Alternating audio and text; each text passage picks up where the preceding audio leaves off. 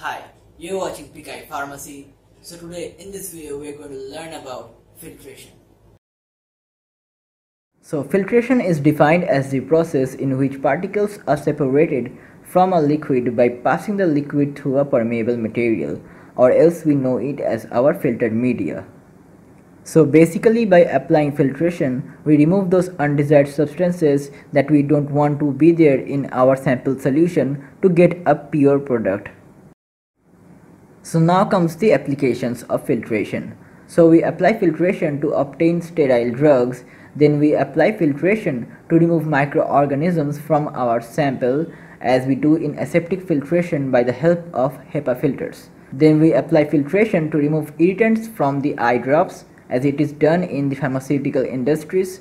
And here's the fourth application of filtration which is very much common and we do often to produce clean water for drinking.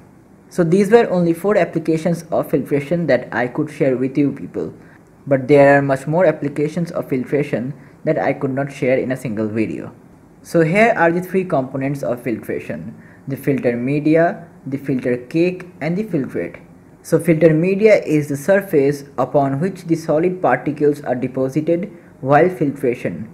So filter media helps to carry out the filtration and filter cake is the deposited form of solid particles which are formed on the surface of our filter media. So the filtrate is the pure substance that we obtain after filtration and it is free from any solid particles. So now we know the three components of filtration the filtrate, the filter cake and the filter media. So let me give you an example of a filter media that is the filtered paper that we commonly use in our lab. So all you have to do is to make a cone like this and then put it inside the funnel. Now all you have to do is to pour the sample solution or the solution that you want to filter contains impurities. You have to pour that solution inside this cone and what you will observe that a clear solution is coming from below the filter paper and all the solid particles that you want to filter out is getting collected inside this filter paper. So over the filter paper the solid particles gets collected and you will obtain a clear solution that is our filtrate. So how does it happen? What is the science behind this process? Let me explain you. So this filter media you can see this contains very very tiny pores these pores are large enough to allow the passage of the filtrate but these pores are not as much as large than the particles that retain over it. So these pores are not large enough to allow the passage of the solid particles that retain over the filtered media but these pores are large enough to allow the passage of the filtrate. So by this mechanism the filtration takes place. So this was a very basic and simple technique of filtration but there are much more advanced equipments that can handle high level of filtration like plate and frame filters, rotary drum filters, filter leaf, cartridge filters and many more. So here are a few characteristics of a good or near to perfect filter media. So the filter media must retain the solids without plugging and excessive bleeding of particles at the start of filtration. So what that means that at the beginning of filtration, sometimes the solid causes plugging of the filter media which leads to excessive bleeding of particles along with the filtrate. Now then the filter media should offer minimum resistance to the rate of filtration. And the filtered media should be chemically and physically inert. What that means that the filtered media should be chemically and physically inert it should not react either chemically or physically with our sample solution so that it should not cause any alteration in the rate of filtration. And also the filter media should not swell when it is in contact with the filtrate or any kind of liquid. So what that means that sometimes we may see the filter media swells up when it is in contact with any kind of liquid. So that should not happen and then the filter media should have sufficient mechanical strength to withstand the pressure drop and mechanical stress during filtration. So what that means that the filter media has to be strong enough to hold the total weight of our sample solution. So it should have enough mechanical strength to withstand the pressure that is coming from the sample solution above it. So now comes the theory of filtration.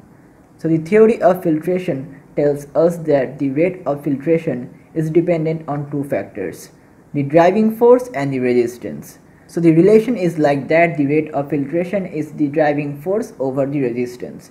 As the driving force increases, the rate of filtration increases. As the resistance increases, the rate of filtration decreases.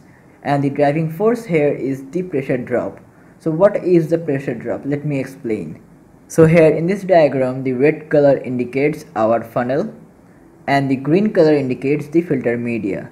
So let me take two points in the filter media according to their position. So at the top, we take our point 1 and at the bottom of our filtered media take another point which is point 2 so the main driving force is the pressure drop.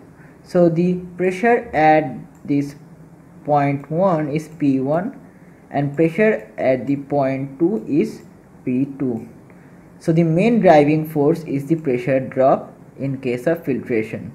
So our del p that is the pressure drop is the difference between the pressure at these two location. That is P1 minus P2 so there are many equations regarding the rate of filtration but in this video we would like to concentrate on the Darcy's equation only so according to the Darcy's equation the instantaneous rate of filtration or simply the rate of filtration is k multiplied by a multiplied by del p over eta L. So the k determines the permeability coefficient, a determines the area of filtration that is the area of our filter media which is basically the area of our filter media and del p is the pressure difference or the pressure drop that is the main driving force for filtration as I explained you and eta is the filtrate viscosity. So the eta determines the viscosity of the filtrate. The higher the viscosity, the lower the rate of filtration.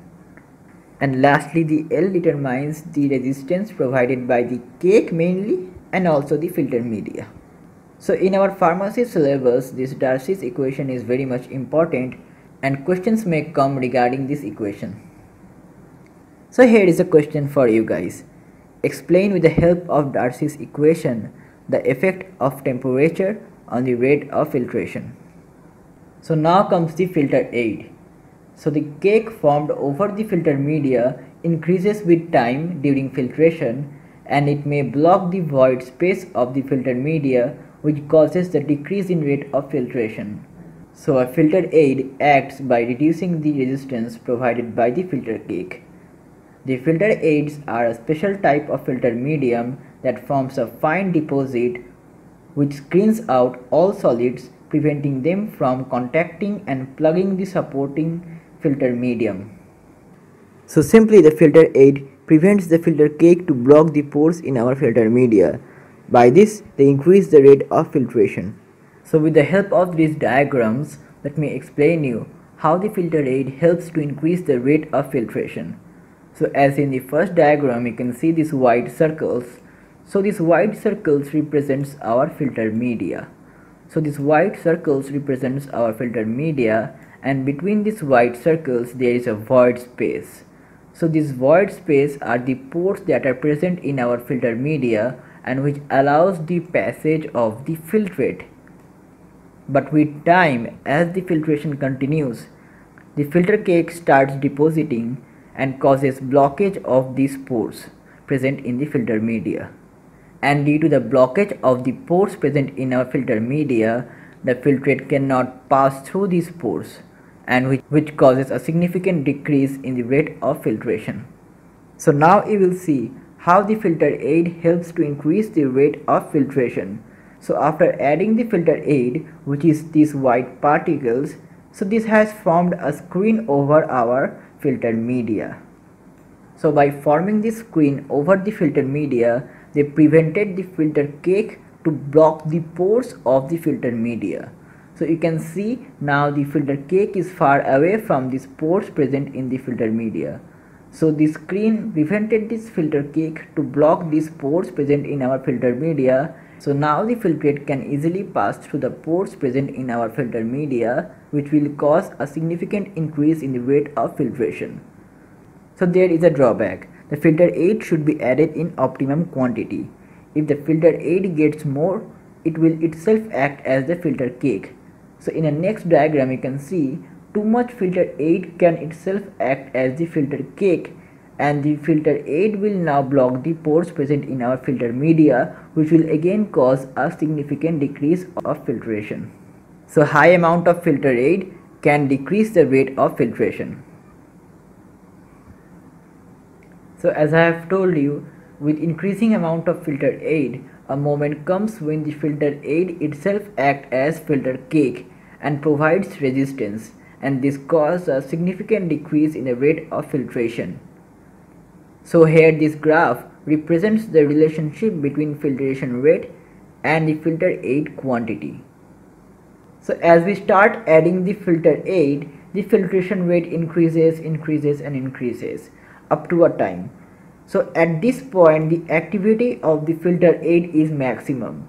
But when we increase the quantity of filter aid more than this value then it starts itself acting as a filter cake. Then the filtration rate drops in a significant amount. So this is how excess amount of filter aid causes a decrease in the rate of filtration. So this was kind of an introduction to filtration and there will be many more future videos on this topic. So thanks for watching. I hope you like this video. Stay healthy. Bye.